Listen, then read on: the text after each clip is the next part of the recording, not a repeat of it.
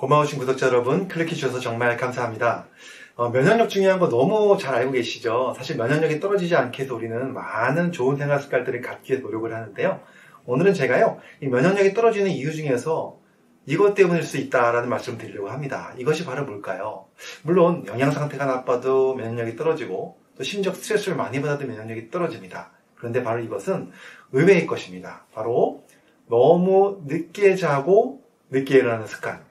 즉, 밤낮이 바뀌거나 또는 생체 리듬이 깨져 있을 때, 그럴 때 면역력이 떨어진다는 이야기입니다. 자, 거기에 관련된 이런 생체 리듬이 깨졌을 때 나타날 수 있는 여러 가지 현상들에 대해서 오늘 제가 간단하게 세 가지로 정리해서 말씀드려보도록 하겠습니다. 궁금하시면 끝까지 봐주시고요. 도움이 되셨다면 좋아요, 구독, 알림 설정 해주시면 감사하겠습니다.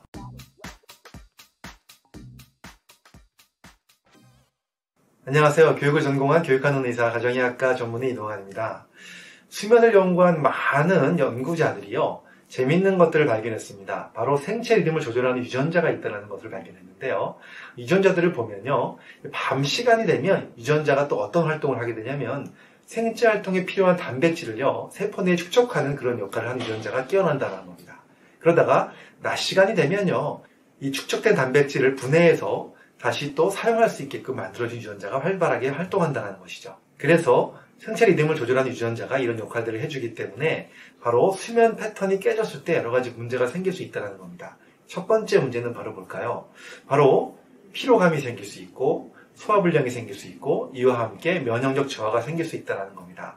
그래서 이러한 유전자가 제대로 작동하게 하기 위해서는 꼭 중요한 것이 밤 12시부터 새벽 4시 사이에 수면 상태에 있는 것이 가장 좋다라고 이야기를 하고 있습니다. 자, 이렇게 생체 리듬이 깨졌을 때는 피로감, 소화불량, 면역력 저하가 생길 수 있다는 말씀을 첫 번째로 드렸고요. 그 다음에 두 번째는요, 2019년도에 미국 스크립스 연구소에서 발표한 자료를 보면요, 유전자 활동이 방해가 되면서 생길 수 있는 여러 가지 문제가 생깁니다. 이 생체 리듬을 조절하는 유전자 활동이 방해가 일어나게 되면 어떤 병들이 생기는가 찾아봤더니요, 일단 암이 발생하기가 쉬워지고요. 그 다음에 비만도 잘 생길 수가 있고요. 탈모도 잘 생길 수가 있고요. 또 심리적으로 불안감이나 우울감이 생길 수도 있다는 겁니다. 그래서 이유 없는 불안감, 우울감이 있을 때도 우리가 이 생활 패턴을 잘 봐야 되는데 심리적 스트레스가 없이 자꾸 우울해지거나 불안해진다면 그 사람의 이런 생활 패턴, 즉 수면 리듬에 문제가 있지 않은가를 한번 살펴보는 것도 굉장히 중요하다는 이야기를 하고 있습니다. 그 다음에 세 번째는요. 사실 유전자가 사람마다 다르기 때문에 이런 생체 리듬을 조절하는 유전자 사람마다 차이가 있다는 겁니다. 그래서 대다수의 사람들은 밤에 주무시고 낮에 활동하는 게 정상이지만 아주 드물게는요. 어떤 사람은 낮보다는 밤에 활동하는 것이 더 편한 유전자를 가지고 있다는 겁니다. 그래서 이런 분들은 여기에 해당되지 않다라는 것이죠. 이런 분들은 오히려 거꾸로 생활하는 것이 오히려 더 도움이 될 수 있다는 얘기를 합니다. 물론 굉장히 드문 분들입니다.